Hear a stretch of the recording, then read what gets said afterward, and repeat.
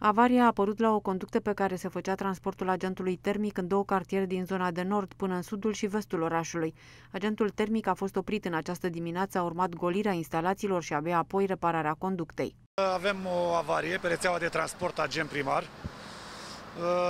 Este pe țeava de DN600 ce leagă cartierul Crihala de zona centrală Colegii mei încă de la primele ore au intervenit asupra acestei avarii și sperăm ca în cursul serii să revină normal.